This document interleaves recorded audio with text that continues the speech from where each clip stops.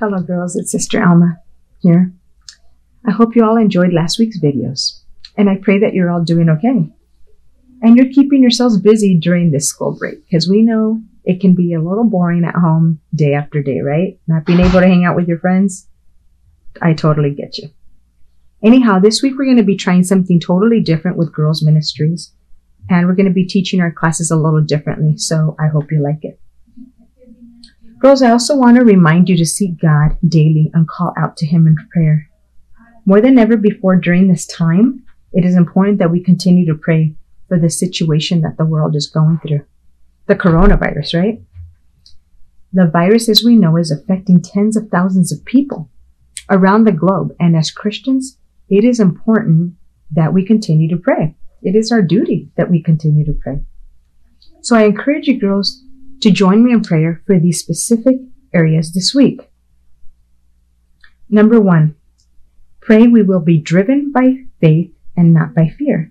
The Bible says in Philippians 4, 6 through 7, do not be anxious about anything, but in every situation, by prayer and petition, with thanksgiving, present your requests to God, and the peace of God, which transcends all understanding, will guard your hearts and your minds in Christ Jesus.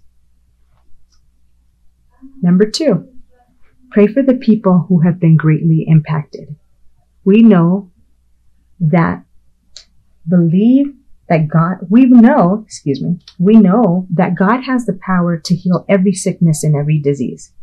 Pray that God would cover our country and other nations that are also facing this crisis. Pray for our neighborhoods, our communities, and our churches and more importantly, our families.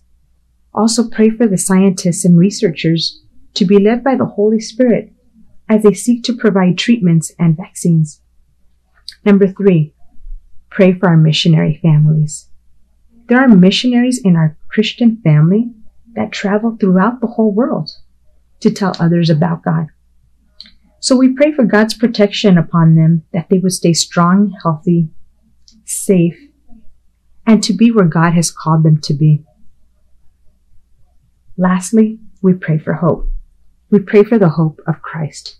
We believe that Jesus is our Savior, that He's our healer, and He's the Holy Spirit and the King of Kings. So we're praying for healing. May we not lose sight that our hope is not in a medical breakthrough, but that our hope is in Christ Jesus. Don't you guys agree? Can I hear an amen? So girls, during this disaster, remember that we have our hope in God and we know that he will see us through this. So if you know someone who's worried or scared, pray for them and let them know that God will see us through this. I love you girls and I miss you all. May God continue to bless you.